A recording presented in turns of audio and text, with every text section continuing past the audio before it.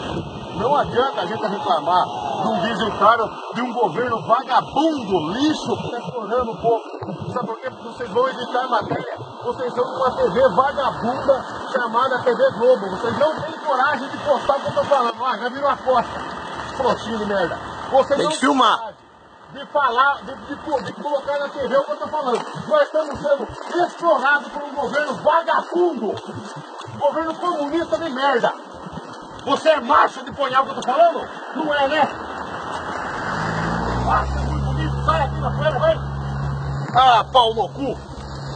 TV de merda! TV é lixo! Lixo! Ei! Tem que escutar as verdades!